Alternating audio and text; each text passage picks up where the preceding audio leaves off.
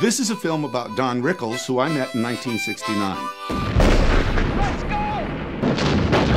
And now, here he is, Mr. Warmth himself, Don Rickles.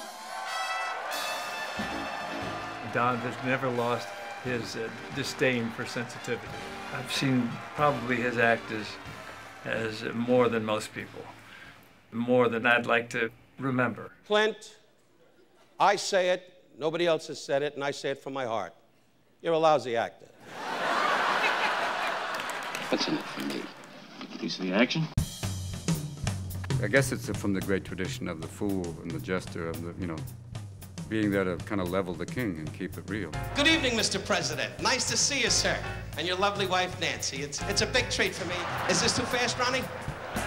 Anyway, uh, he's sitting there looking at the program going, where does he say he makes fun of me? Where does it say that? Chinese, Filipino, Japanese. Three years in the jungle looking for your father.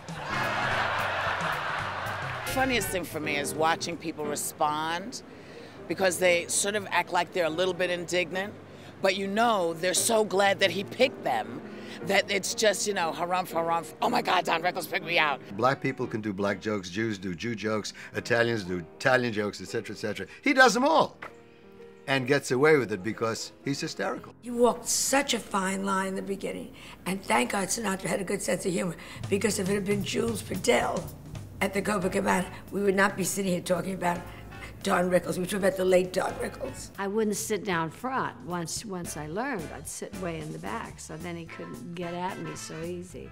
Because I was a target. He really liked to get at me. Oh, you married that schmuck? Or, you know, he was, that was Don. Kid about great stars such as you, Bob Ward, because you're old and washed up. But I tell you this, is he laughing? Then take a look. See if Bob's laughing. If he ain't laughing, show him a picture of Jack. I'll tell you this. I kid Jack Benny, a great star, God bless him. Milton Berle, great people. This is wonderful being here at the home. And I say this from my heart. It takes many years to be a great comedian. Sure does. You ain't reached that year yet.